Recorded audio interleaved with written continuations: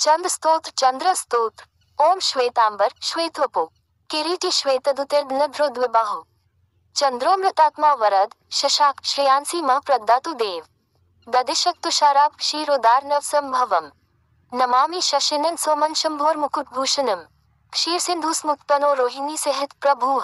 हरस्य मुकटावास बालचंद्र नमोस्तुते सुधाम्या यत्किरणा पोषयन्त्योषधीवनम सर्वान्नर सहितुन्तं नमामि सिन्धुनन्दनम।